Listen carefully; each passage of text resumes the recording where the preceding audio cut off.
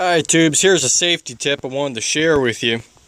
Take a look at this wire here that came off a, a, vehicle and it was used for, for accessory wiring for you know for, for lights or stereo or heated seats any anything like that. It was just a uh, accessory wire. And the wire itself was uh, was 8 gauge so it was it was more than enough to, to handle the the current uh, that, that whatever accessories were on it would draw. Uh, but what the uh, the installer failed to do was install either a fuse or a circuit breaker right at the battery. Matter of fact, there was no fuse at all. Uh, each accessory had fuses on it, but that doesn't really do too much if if the uh, the wire short circuits at a point uh, before the fuse box.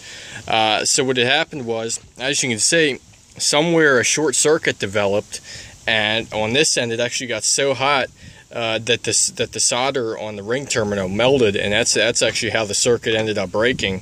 Uh, but you can see it just totally melted the uh, the insulation here. It's ready to come off at this end, closer to the battery, and you can tell by the color of it, it, it got very very hot. So uh, owner of the vehicle is lucky they didn't have a, a serious fire. Uh, that you know this could have ended up in a in a vehicle going up in flames. So uh, I just figured I'd make a video real quick. You know, whenever you're doing auxiliary wiring, doesn't matter what it is. Uh, my personal recommendation would be to have one main wire from the battery and go to an accessory fuse panel. Uh, but regardless, even if you only have one accessory, uh, make sure you either use uh, these things, which I, have used in the past, uh, they're just accessory fuse holders.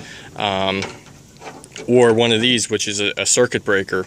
Of course, the benefit, benefit to the circuit breaker being if it, if it trips, it just resets automatically. You don't have to replace a fuse.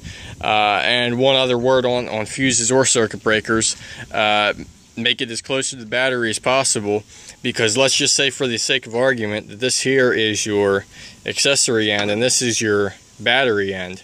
If you have your fuse right here, real close to your accessory, Sure, it'll protect your accessory if it draws too much, but it's not going to do a darn thing if you get a, a short circuit anywhere here between uh, your your circuit breaker or fuse and the actual power source itself. So always make sure your circuit breaker fuse is very close to the battery, uh, therefore eliminating uh, most chances of, of uh, vehicle fires or, or, shocks, any other kind of accident. So I just figured I'd make a quick video on this, something uh, worthwhile showing to you because uh, better you see this now than uh, me seeing a video of a truck on fire. So, thanks for watching, tubes.